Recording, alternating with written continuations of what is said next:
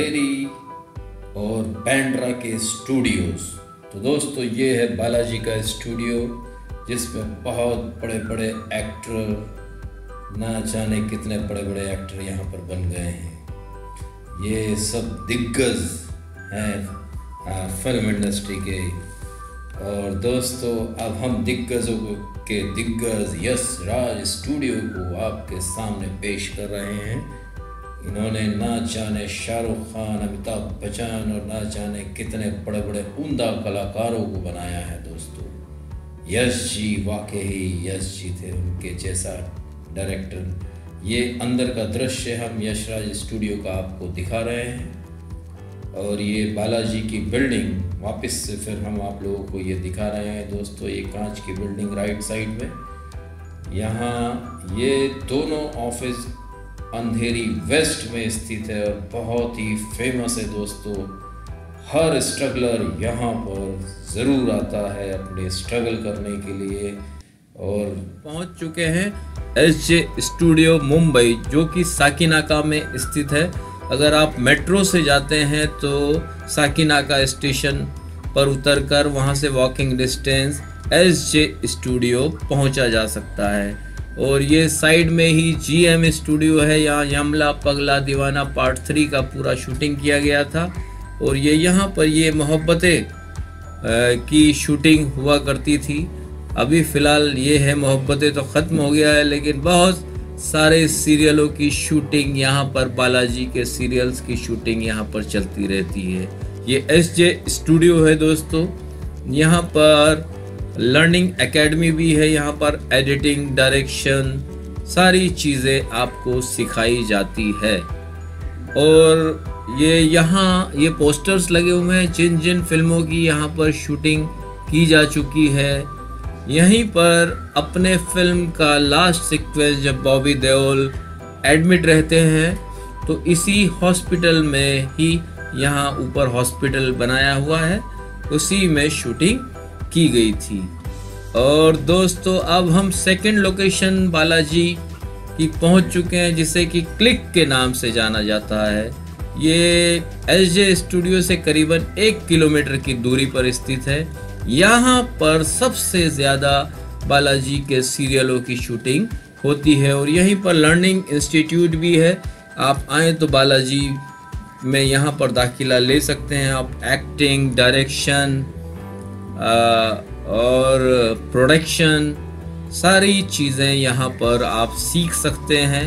यहाँ उनका acting school भी है और ये लाइट हॉल ये जितेंद्र जी और एकता कपूर ने बनाया है ये बिल्डिंग जो है, क्योंकि पैसा तो ईश्वर ने उनको बहुत दिया है, इसलिए उन्होंने इन्वेस्ट भी कर दिया ये बिल्डिंग तो ये जितेंद्र साहब की ही है।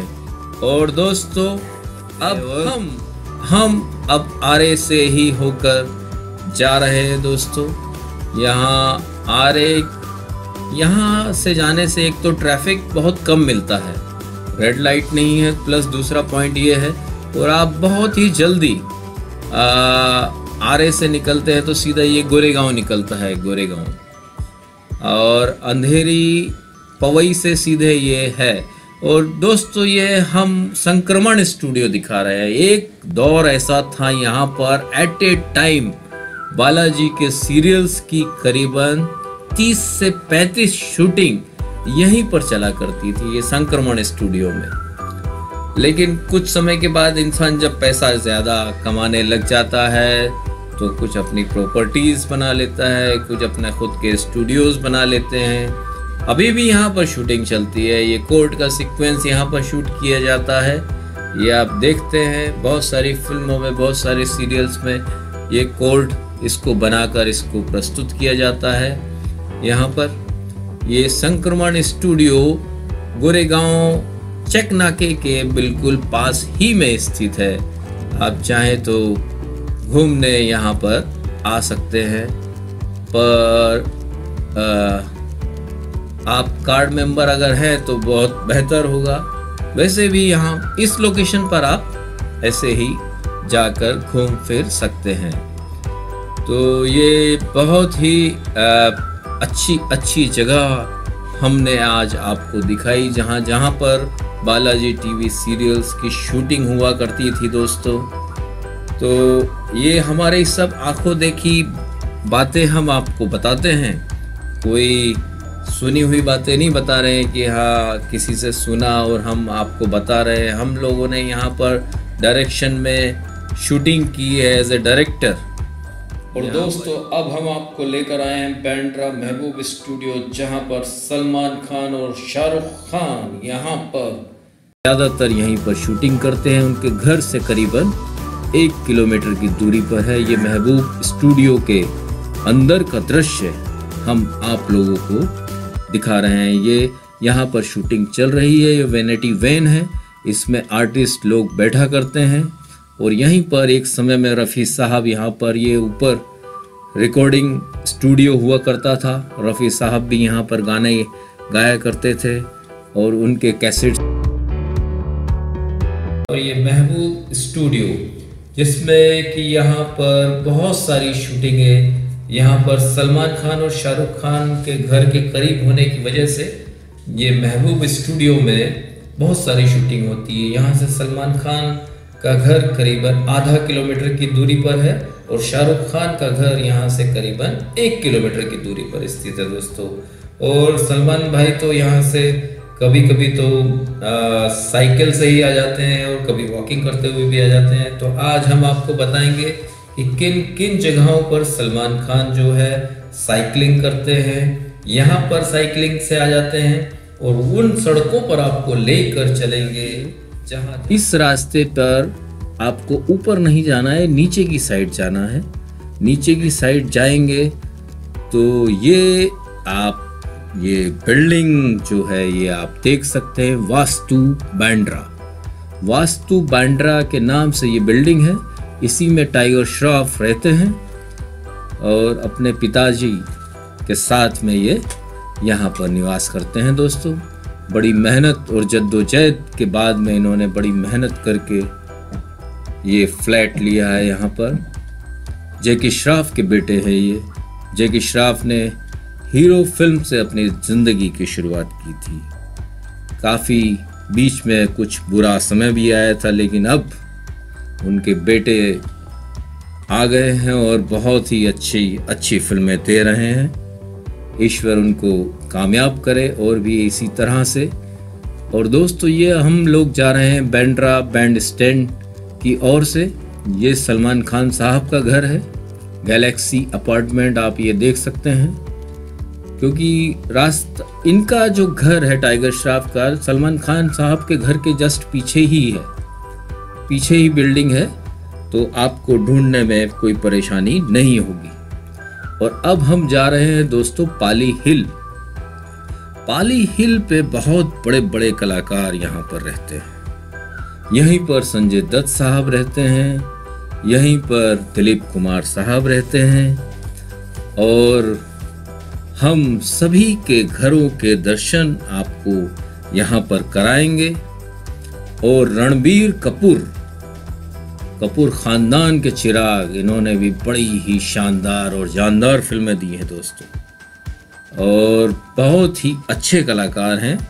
अभी हाल फ़िलहाल में ये आ, शूटिंग कर रहे हैं और इन्हें फुटबॉल खेलना बहुत पसंद है।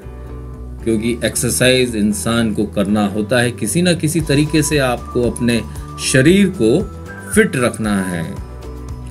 और ये अम हम लोग ये पाली हिल के, पाली हिल जो है पहाड़ी पे बसा हुआ है।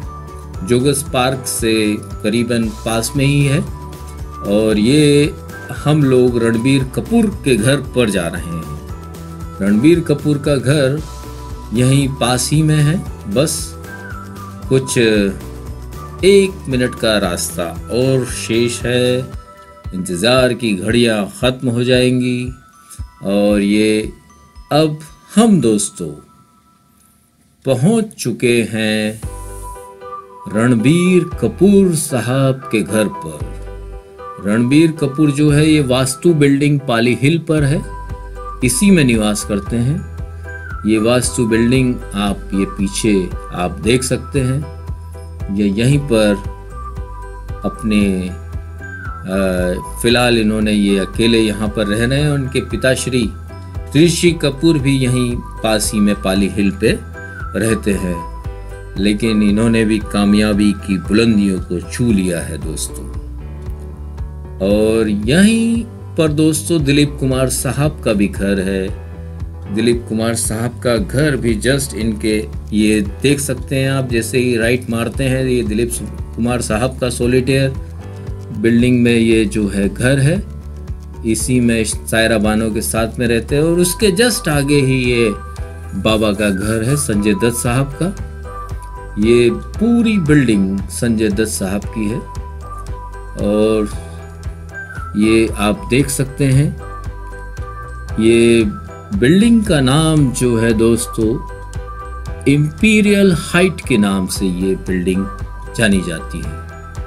तो जस्ट बिल्कुल दिलीप कुमार साहब की बिल्डिंग से जस्ट आगे की ही बिल्डिंग में ये दत्त साहब रहते हैं। संजय दत्त ये इनकी गाड़ी को आप देख सकते हैं बीएमडब्ल्यू गाड़ी खड़ी हुई है। और ये उससे पहले ही ये सोलेटर ये आ, जो किंग है इंडस्ट्री के आज तक भी ईश्वर ने उन्हें अच्छा रखा है। ये सायरा बानो के साथ में यहाँ पर रहते हैं दोस्तों। तो दोस्तों, यहाँ पाली हिल पर बहुत बड़े बड़े कलाकार रहते हैं और जो मेन दिलीप कुमार साहब का जो बंगलो था, अभी उसको किसी बिल्डर ने ले लिया है। ये बोर्ड हम आप लोगों को दिखा रहे हैं। उसके, उसको तोड़कर अभी बहुत बड़ी ऊँची इमारत बनाई जा रही है। उसी की प्रतिक्रिया चल रही है और जो अभी दिलीप कुमार साहब रह रहे हैं, वो सायरा बानो जी के बंगले में रह रहे हैं। यहाँ पर बहुत बड़ी बिल्डिंग खड़ी होने वाली आते समय में। इसलिए हमने ये बोर्ड आप लोगों को यहाँ पर दिखाया। तो दोस्तों, ये वास्तु बिल्डिंग से हम लोग वापस से पास हो कर के यहाँ से जा रहे हैं। तो ये वीडियो आपको कैसा लगा, लाइक और सब्सक्राइब करना बिल्कुल ना भूलिएगा। अगर आप लाइक और सब्सक्राइब करते हैं तो आगे के वीडियो, आपको अच्छे अच्छे वीडियोस हम आप लोगों को दिखाते रहेंगे क्योंकि हम खुद शूटिंग लाइन में ही काम करते हैं। तो दोस्तों, अपना ख्याल रखिए। गुड बाय नमस्ते, सलाम, सत नेक्स्ट वीडियो में फिर आपसे मुलाकात होगी और ईश्वर के करीब रहिए। जितना भी आप ईश्वर के करीब रहेंगे अच्छा रहेगा। और ये सेंट एंड्रयूज कॉलेज लेफ़्ट में हम दिखा रहे हैं। ओके दोस्तों। फिर मिलते हैं। Bye bye.